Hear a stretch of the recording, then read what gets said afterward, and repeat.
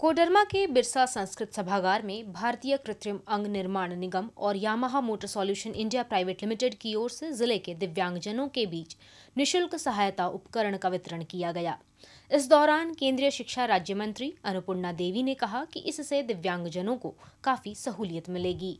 Motor चूँकि chargeable है, battery द्वारा है, स्वचालित यंत्र है तो वो अच्छे ढंग से सुविधानुसार अपने गंतव्य तक पहुँच सकते हैं और अपना काम कर सकते हैं। मौके पर विधायक नीरा यादव भी मौजूद थीं। उन्होंने कहा कि इन संस्थाओं का यह प्रयास सराहनीय है। यामाहा और एलमको के द्वारा सामूहिक प्रयास से ये कार्य किया गया समाज कल्याण विभाग के द्वारा। तो लगता है कि कहीं न कहीं आज हमारे लोगों को काफ़ी वहीं इस दौरान निशुल्क सहायता उपकरण पाने वाले दिव्यांग छात्रा अनु ने कहा कि पहले कहीं भी आने जाने में दिक्कत होती थी और दूसरे लोगों का सहारा लेना पड़ता था। लेकिन अब बैटरी चलित साइकिल मिलने से उनकी कई परेशानियाँ खत्म होंगी। भाई लोग घर में रहते थे तो ठीक है लेकिन फिर भी अगर कोई घर में नहीं है तो बहुत है तो कभी कभी छूट भी गया कोई कितना प्रोग्राम लेकिन ये रहने से कम से कम ब्लॉक तक तो जा ही सकते हैं। बैटरी चलित ट्राईसाइकिल और व्हीलचेयर पाकर दिव्यांगजनों के चेहरे पर मुस्कान दिखी।